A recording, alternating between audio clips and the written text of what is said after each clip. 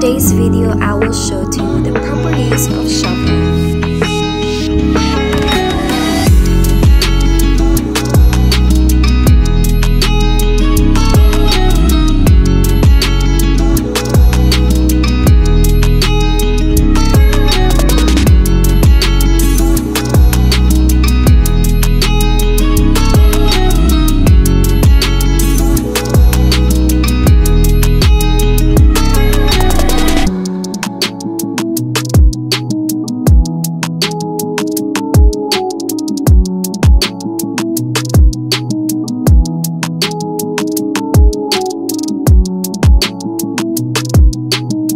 Keep feet wide apart.